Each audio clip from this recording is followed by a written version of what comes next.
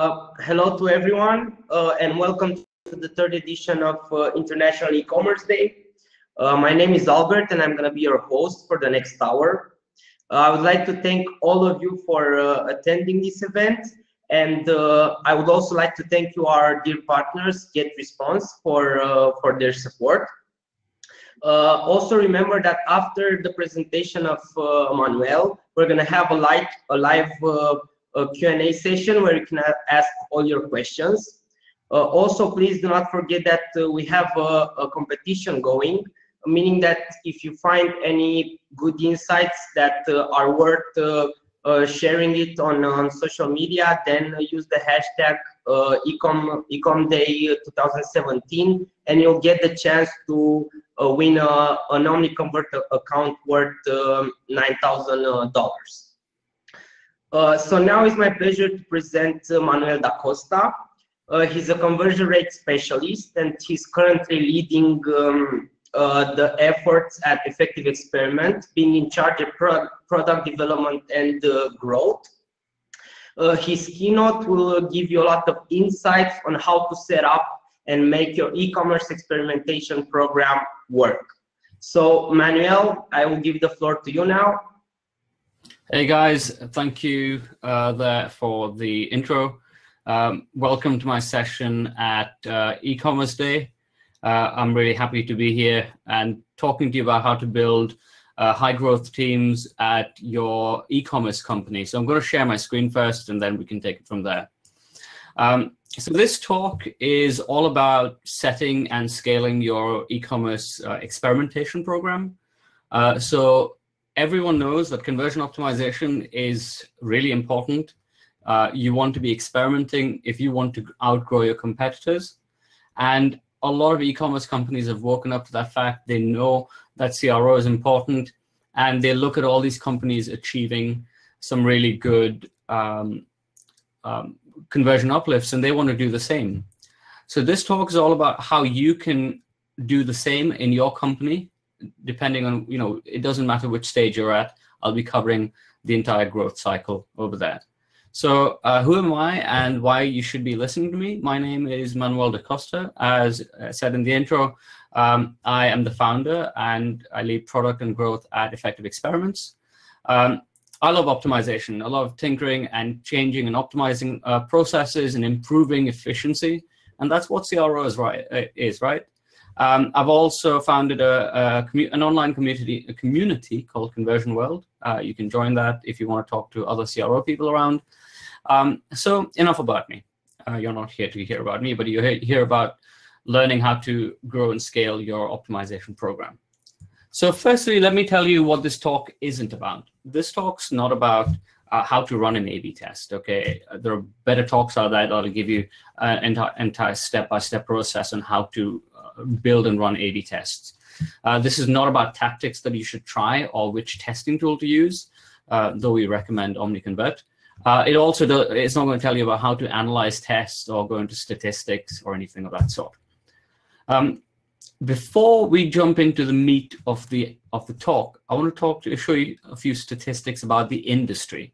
Uh, so this is uh, something that was done by eConsultancy, a survey that they put out, and it said which um, three digital areas are top priorities for your organization in 2017. And if you look at the first and the third one, which is targeting and personalization and conversion optimization, you see these are really high priorities in the organization in the organizations in 2017. Um, we also ran a similar survey at Conversion World, and we asked uh, uh, folks on uh, the company side as well as agency side whether budgets have increased uh, or decreased. And uh, a lot of people uh, have said that budgets have gone up. They've increased on, on, on, the agency side as well. Um, looking at activities, uh, the activities um, for agencies have also increased, and on the client side, they've also increased. Um, so in my role at Effective Experiments, I have the pleasure of speaking to uh, companies, large and small agencies all around the world. And the the reason I talk to them is obviously they're interested in our platform, but more uh, more than not, I am interested in their processes, what they do, how they execute their optimization programs, and what their challenges are. And let me tell you this. Um, over time, I've conducted at least about 500 odd interviews, maybe more. I've seen some good optimization programs. I've seen some bad optimization programs, and I've seen some really ugly optimization programs. And and the thing is, there is a shocking truth about conversion optimization programs. And it's a simple truth. They are not done well. Optimization programs are not done well. Firstly, there isn't a standard. Okay, so we're going to talk about those reasons. So let's look at those reasons why. Okay, why are we seeing so many optimization programs in companies, large and small, not done well? The first reason is plain and simple. There is no standard in the industry right now. If I was to compare one agency versus another agency, even if they're the same maturity level or one company with another company, there would be a difference in the way they go about their CRO workflow. There is no um, uh, no similarities, no guidelines, and there is a big gap in knowledge as well. So people are starting to come through into CRO from different fields. Maybe they're coming from digital marketing, maybe they're coming from SEO. So there is a big gap over there. The second reason why uh, optimization programs don't work is because there is no buy-in. Now you might think, hang on, our stakeholders or the management in our company has given us all this money to build a CRO team. There is buy-in. No, there isn't. The reason for that is because when we look at buy-in, it's not the money or the budget, but how easily the other teams in the company support you. So your your um, design teams, your your other marketing teams, your development uh, uh, folks, are they supporting your optimization efforts? And usually we see that is not the case. So there is definite um, lag or, or sorry gaps in interdepartmental buy-in. And the other thing which I said earlier as well is that there is no structured process. If we were to compare two companies, their, their, their processes would vary. So when we surveyed people at Conversion World, we asked them uh, this question, do you agree or disagree? We have a strong, well-defined process for our optimization program. And you can see about 33% of them actually disagree uh, to that fact, and that 31% are neither here nor there. A key factor that also derails optimization programs is the lack of resources. Sure, you come up with loads of ideas. Sure, you come up with loads of tests that you're ready to you know, push live and make lots of money on, on your checkout page, on your product page, whatever that is, right? But what if you can't get that going because your developer's too busy with other things or your management isn't uh, is stopped doing uh, other jobs? So here we go. We looked at um, that survey again, and we asked people, you know, how, uh, what are the problems you face when deploying um, tests or when running your optimization program? And lack of resources comes up way up there as one of the main reasons. So we looked at um, the ways people set up optimization programs, and as I said, it's not done well. It's a broken process. And the reason for that is because the way we set up optimization programs is, is we go uh, uh, through it the wrong way around. People always start with tools. They look at the platforms that they should be using to run their A-B tests and their, their optimization programs, but tools do not make an optimization program, right? Tools do not help you um, build culture. Tools do not help you execute. They're tools sure, they will help you create the test and run the test and get all the stats and stuff like that. But your optimization program should not start and end with the tools. It should be part of that process. But if you want tools, right, go for it. There's loads of tools out there. You can pick and choose if you want, you know, there's go go to that link over there, conversionoptimization.tools and, and find there's a full list of tools over there. Pick your poison. And then we also come to this new black box technology of artificial intelligence and machine learning and whatever. Okay. And this is being treated like the cure. Like if you can get machine learning and personalization, it'll fix your problems, but it's far from it. Your optimization program shouldn't start with tools. When we look at optimization programs, whether it's in, in especially in smaller companies that are just starting out, if, especially if yours is just starting out, you may find this quite relevant. Look at this. Look at this little comic strip over here, right? It says, "I want a real team effort on this project." Now, there's one thing that's right about this, and there's one thing wrong on this as well. Um, do you want to know what what the uh, the wrong thing is? The word project. Okay, so if you're treating conversion optimization or your, your optimization program as a project, you will fail because optimization shouldn't be a project. It shouldn't be treated as a one-off event that happens for a few months and then you decide, yeah, let's see if we should continue with this or not. Optimization should be baked into your company's DNA. It should be a business as usual activity. Okay. If you have that short term um, if you if you in the short term you're not going to succeed. Optimization has to be something that is run silos are a common in companies. Bigger the bigger the company the bigger the problem. If you're a small team you can be agile. People are sat around more or less next to each other. You can get things done. But the the more the company grows you start become uh, start forming silos. So you'll have a team of developers sat in one area, just with them, uh, you know, doing their own stuff. Designers in one side, the optimizers trying to do their own stuff. So you're forming silos, which basically slows everything down, and you don't really get uh, further ahead with your optimization program. So I said about looking at some successful uh, optimization um, programs run by some really well-known companies out there. Um, and this is what I'm going to be talking about next and exploring what they've done that's uh, been successful. Now, bear in mind that this is not to say that theirs is the template you should follow, but even they are sort of all, always optimizing their process. But from what they have learned, they've shared this with, with people on the internet.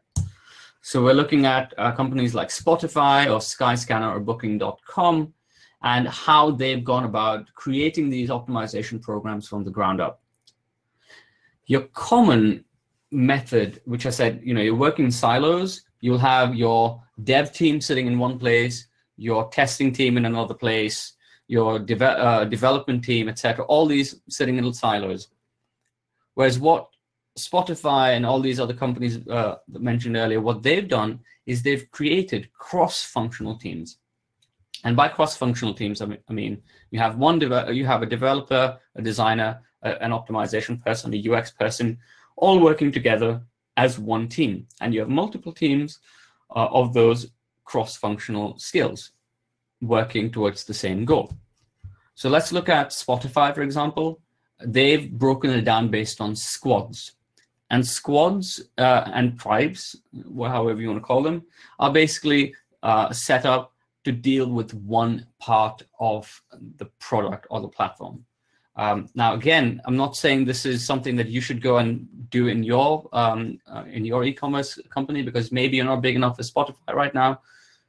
You should, you, but look at the principles, right? You have different squads, cross-functional squads, working on a different part of the platform, but all working towards the same goal. You also have try. Uh, you also have um, guilds and chapters. Chapters are basically people with similar skills from different squads so they can meet and share their knowledge. And you have guilds, people with similar interests. So maybe a developer is interested in UX or a, a designer is interested in development. You have um, those people clubbed together as guilds. And what that does is it allows people to share ideas. It allows them to tell each other what's working in their testing and what's not working. And that allows a cross pollination of ideas. If you're sitting in your little silo of um, of uh, developers or designers or test, uh, testing um, professionals, you might end up in this scenario where it becomes an us versus them. We're doing a great job, but they aren't because they're a different team. So you end up in, in the wrong mentality altogether. But if you have it set up in this way, we have a cross-functional team all working towards the same goal, but then people with similar skills meeting up or with similar interests meeting up to share their knowledge, to share their learnings, that's when you start getting real momentum because they can feed off each other and inspire each other to, to move forward. So at this stage you're thinking, right, you've got Spotify, you've got Skyscanner, they're doing great things. Uh, you know, some other e-commerce companies like even like Shopify, for example, might be doing some really good things. But how can I do this in my company? And this is what I'm going to be dealing with uh, in this next section. I want to show you in a practical manner how you can transform your organization um, for high velocity uh, optimization. So no matter where you are in the maturity level, you can scale up over time. And I'm going to show you uh, some um, some strategies for wherever you are in uh, this pipeline. I want to introduce you to the three pillars of optimization. You might be thinking what they are. And I'll tell you right now. People, processes, and priority. And I'll be covering those shortly. Tools are not one of them. If you've been listening to me over the last few, um, 15 minutes that I've been speaking, I've been fairly clear. Tools are important. They help you run your tests, but they're not part of your optimization program. You've got bigger things to deal with. And let's start with people. People are the most important asset when it comes to optimization. You want to hire the right people. You want to hire people that are that are motivated, that are enthusiastic, and more importantly, curious they're they're keen to look at into the data, research, and find insights that can help them drive tests forward. So have a really strong um, hiring process that you're you want to bring in the best talent or upskill your existing talent. Let's start if you're just starting out, your company is small, and you don't have a CRO person in place. How do you go from there? So at this stage, you may want to look at upskilling your existing digital marketing uh, professional. Maybe you are a digital marketing professional and you want to do CRO, you can do it part-time. Um, and this is where we where we call this person the jack of all trades because resources are low, but you want to make an impact. So this jack of all trades has to prove the case for CRO in the company, or uh, if you're the management, you want to make sure that you have a business case to invest more into CRO. So think about things that you can do during this stage. One person working part-time, limited resources, what can you do? Focus on tests that will deliver high impact. When I say high impact means that you're not testing button colors, you're not testing headlines, or you're not testing something on the homepage. Go straight for things that will deliver revenue through your tests. So things like your checkout page. Okay, what can you test on the checkout page that's going to get more people completing that checkout? How can you prevent cart abandonment? Look closer to the money point, and that's where you want to optimize all your tests at this stage. Time is limited, resources are limited. You want to prove your your case now. You might also want to bring in additional resources, like maybe uh, you want to bring in an outside agency to um, help you with this or if you're struggling with uh, development resources, uh, there is a good uh, resource online called uh, testing.agency that can help you with this. So definitely look for stuff like this, um, but prove your case quick. Time is of the essence. Okay, so let's move. That was level one. Let's move to level two, right? So you now have a dedicated CRO resource. Maybe you've proven your case, uh, and now you have also a front-end developer that can design these tests for you. And you also have a UX designer who can make it look good. Um, and all you then need to do is go ahead and uh, deploy it, right? So here you've scaled up a bit. The challenges now are trying to get people involved with your testing. This is not the, the people you're working with, obviously, but the stakeholders and other, comp- uh, other team members Uh, you want to show them what's happening over time, get that buy-in, get people enthusiastic about testing and about the results, right? Because the results are the main thing you're looking for. Um, once you start moving up the ladder, you start getting more people. Okay, so you get you get uh, even more resources like a, a, quality assurance lead, a web analyst, and you've got your existing team. You can start scaling up. Uh, level four, obviously now the conversion optimizer takes more of a management role. It's a conversion manager, and you're dealing with all these multidisciplinary uh, members in your team. You've got a psychologist, you've got uh, you know web analyst, a statistician, etc. And these are people who are going to be specialized in in giving you insights or giving uh, before running the test or insights after running the test as well. So you've scaled up over time. Um, there is no level five in this presentation. Uh, people always ask me what happens at level five, right? Um, I think it's robots are going to take your job and we're just going to be out on the street. But that's a different story.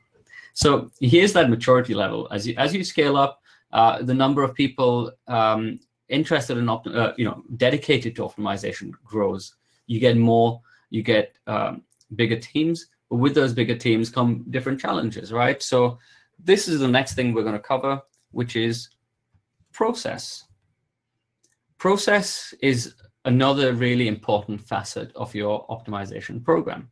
If you do um, a search online for any conversion optimization process, you would have come across uh, WiderFunnel's uh, infinity process. As you can see, uh, they have uh, the whole thing where they go through research and uh, going through analytics and persuasion, and then they're going through the whole point about hypothesis creation and designing and running the test, etc., and validating the test.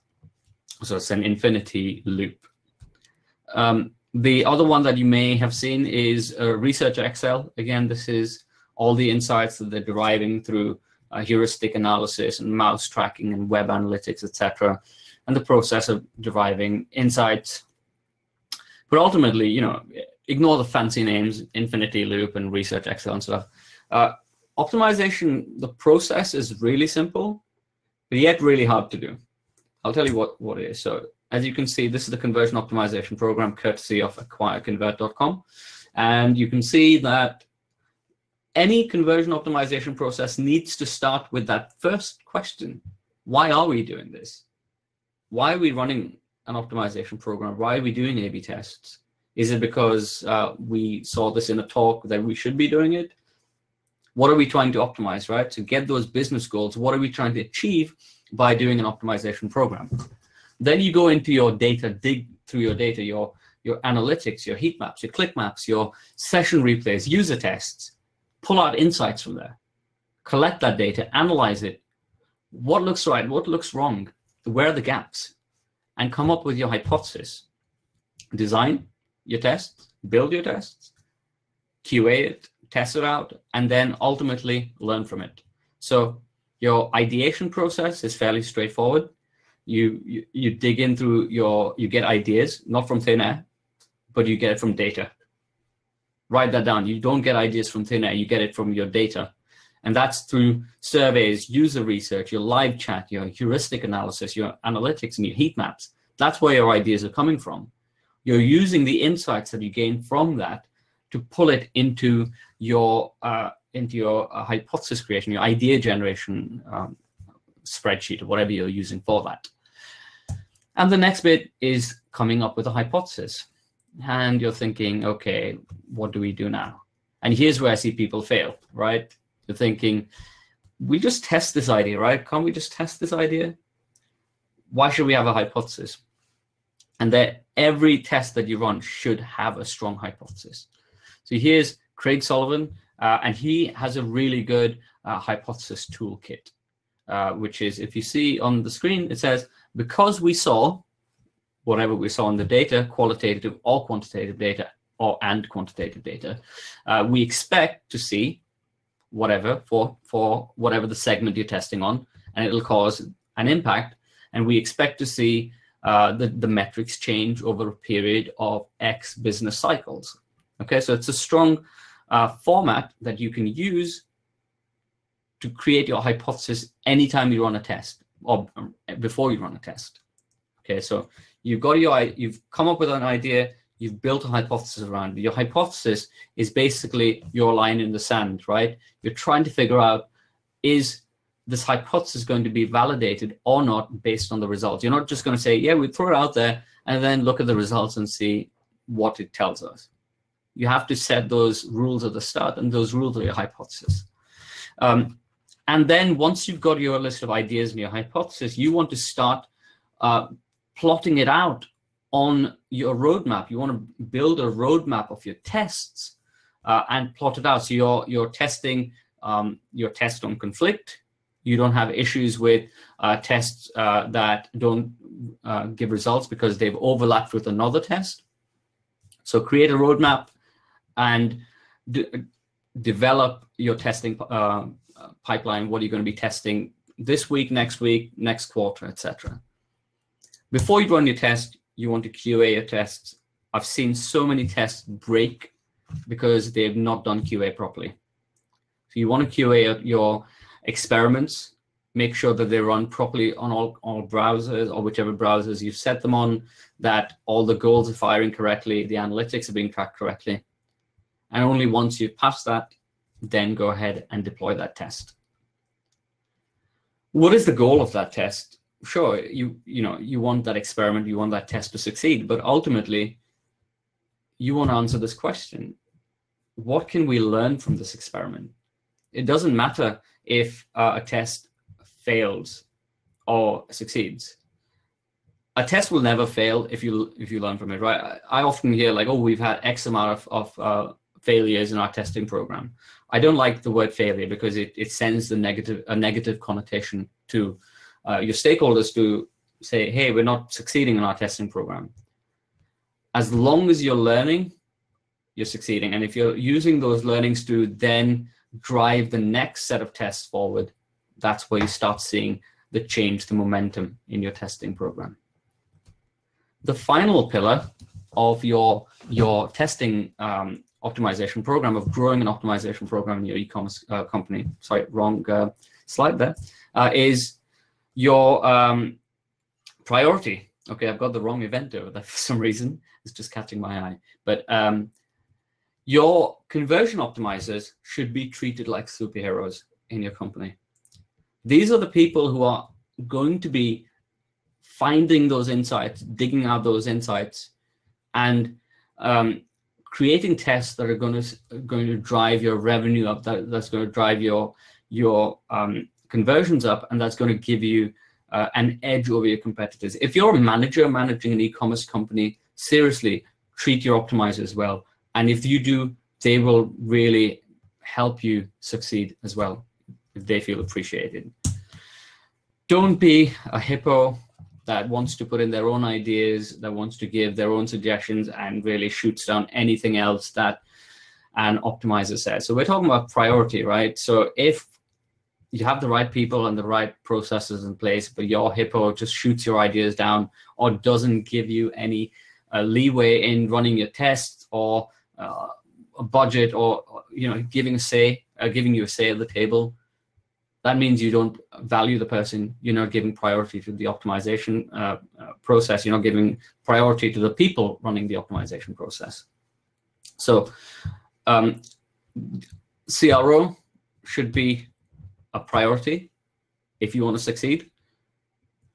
Identify where your bottlenecks happen. Okay, think of uh, your um, CRO um, workflow as a factory, right? So things are going, they're going from planning to designing to development, etc. You want to look at it and see in your optimization program where those bottlenecks happen. Because if you see, let's say, for example, you have your test pipeline built out, you see experiments that are stuck in approval phase or they're stuck in the QA phase, you get visibility on that. You can figure out why those tests are getting stuck in that, and you can optimize that process. You can become more efficient in your optimization process itself. And doing that allows you to build, become um, efficient um, with that well-oiled optimization program. So let's look at this. Look, let's look at this Venn diagram. Okay, so this is the three pillars that we talked about. We have people, we have process, and priority. Now, if we have uh, people, and uh, priority but no process, then you're getting haphazard testing. If you have process and priority, but not the right people, then if you don't have the right people, you've got people who are doing amateur CRO, right? And they're going to be testing button colors. They're going to be testing stuff that they read on blogs rather than looking at data. They will follow the process, but they will not know what to test. And then finally, if you have people and process, but no priority, you will have people sat there, bored out of their heads, undervalued, and they will not then be motivated to help you, your company succeed. So a successful optimization program uh, requires all three. It requires a good mix of people, processes, uh, processes, strong processes, and priority. So let's look at the, the key takeaways from this talk. So you've learned about why optimization programs don't work. What are the pitfalls that you need to avoid in your company? It doesn't matter where you're in your company, those pitfalls happen everywhere. Okay. The other thing we talked about was what successful companies are doing. And if you want to emulate that, that's fine. But it depends on which stage you're at. And I showed you strategies that you need to do at each of those stages, how you're going to communicate, how you're going to start um, uh, talking to your stakeholders, how you're going to start communicating with your team. And then finally, we talked about how those three pillars, uh, people, process, and priority come together to help you uh, uh, create a full optimization program. So I'm interested in learning about your program. I'd love you to, love to get in touch with you or you know for you to get in touch with uh, there's my email manuel at effectiveexperiments.com uh, find me on linkedin or tweet me at digital underscore tonic and that's uh, my talk for e-commerce day. I think I am on time. I think there might be some Q&A after this, but uh, I shall go back to the slide over here and see what we have. Uh, oh, there we go. Uh, hi, Manuel. Uh, thanks a lot for, for your presentation. Uh, I think you raised a lot of uh, great questions regarding how we should properly approach uh, conversion rate optimization. And in the same time, you gave uh, valuable insights regarding the pillars that actually build a really good uh, conversion rate optimization program. So really thank you for that. Uh, guys, thank you as well for uh, for being being active in uh, in this this session. If you have any questions, please. Um, oh, we have one. Pedro Mangas here. Um, I'm gonna read it to you, Manuel, and I think he's just waiting to type the question, right? Yeah, right, exactly. Yeah. so we're gonna wait a bit. Uh, guys, after this session is over, we're gonna have another session uh, with uh, Mustafa, and he's gonna talk a bit about the best practices in choosing uh, uh, the right apps for for your business. Um, a question from um, uh, Sumanta first. So when it comes to QA, do you recommend any tool to test various mobile devices out there? Yeah, so there are there are quite a lot of uh, different uh, tools that you can use. Uh, so we use uh, there there are different types, right? So you've got uh, a tool like BrowserStack. Um, there's also um, I'm trying to think of the other names. Uh, there's BrowserStack that can do virtual as well as real devices.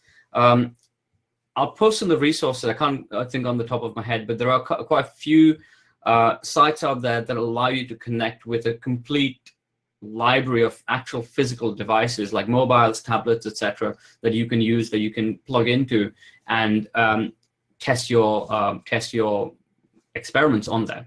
Uh, so Samantha, just tweet me. I'll send you a link to all of those later on. Cool. Uh, and the question from Pedro is, how do you motivate people to use tools and strategies needed to do that? Gamify it, right? So people people will not just do it because you tell them to do it. So try and try and make it easier for them. So you remember when I said you need to come up with a strong hypothesis and you know get them to think of it in terms of hypothesis. At the start, if you're trying to embed this culture of CRO in a company, and people are like, "Oh, what's hypothesis?" you know, for us as conversion optimizers, we know what a hypothesis is. We know the importance of it, but not everyone does, and not everyone cares. So how do we change that? we change the wording. Let's bet on it. Let's put it. Let's put five pounds, five euros on it, or five pounds on it, whatever that is, uh, and see if um, you know your idea succeeds, or my idea succeeds, or someone else's idea succeeds. Right? Gamified, make it uh, make it Yeah. Fun for them, and then also have like leaderboards, have things like where they can they can see that their ideas are accepted, they're feeling valued, they're feeling part of that process. Um, so you want to almost give them, make it easy for them, uh, and also make it fun for them. Um, yeah. So Cool. Another question from Samantha. Uh, how do you think the top bosses of several e-commerce sites are seeing the impact being created by CROs? So here's the thing, right? So they're, they're seeing the impact created by CROs on the internet, on, on blogs. They're reading up on all of this, right? But we all know that what they see over there is just the, the good stuff. They don't see all the bad stuff. So when they see what's happening in their own company and they see these tests failing, they're quick to judge that. They, they, they want to see that, okay, right, why aren't we getting the same results as what we're reading on blogs? So there's an education gap there. We need to be teaching the management or teaching the stakeholders what an actual CRO process actually is to set their expectations right. The impact is definitely there, but the impact is not always in successful tests. The impact is created in are we learning from your from our tests? Are we learning from our experiments? How are we able to use those learnings to move forward and to improve the the overall customer experience? That's where the real value of CRO is. Sure. And the last question from Samantha.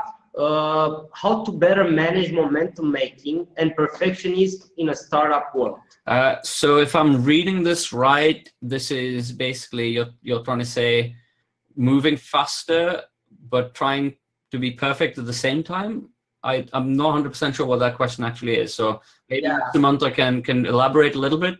I can have a look at that, but I'm assuming it means one thing, but I'm not sure. Yeah. So Samantha, please, if you can elaborate a bit on, uh, on this question. Okay, Yeah. so moving So so how to better manage moving faster and getting high ROI in tests, right? So here's the thing: uh, moving faster, you probably set KPIs like, okay, we need to run X amount of tests every month. We need to do, you know, t- ten tests or twenty tests because again, we've seen those people doing, you know, that company doing so many tests every every month. That shouldn't be the case. You want to uh, maximize for learning, so run tests, uh, move faster to learn learn as fast as you can because the faster you learn, the ROI comes as, as a result of it, anyways. Um, perfectionism, again, I'm not 100% sure, but moving faster, you want to be moving faster to learn faster because as a startup, you want to learn, right? You want to gain, ge- uh, keep uh, getting all those learnings and improve from there. sure. Sure. Uh, great. Uh, Manuel, thanks for, for, for the again. Uh, Jarno, Jarno has an oh, oh, okay. Just uh, uh, validating the, your answer. Awesome. So, guys, uh, stay tuned. We're gonna have another uh, talk in uh, approximately 10 minutes. Manuel, once again, thank you and have a great day. Thanks a lot, guys. Speak soon. Bye. Bye.